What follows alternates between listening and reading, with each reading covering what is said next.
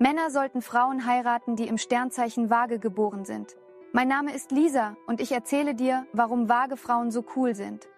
Zunächst einmal hängt das damit zusammen, dass Frauen, die zwischen dem 23. September und dem 23. Oktober geboren wurden, einen ganz besonderen Charakter haben. Sie ertragen keine Routine, Langeweile oder Eintönigkeit. Das können sie schlichtweg nicht aushalten. Es wird immer Bewegung und Aktivität geben.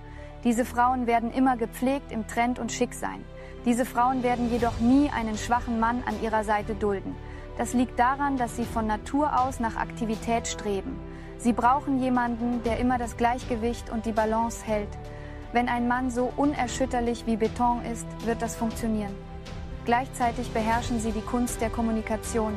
Sie können sich mit jedem einigen und die Herzen anderer Menschen im Handumdrehen erobern.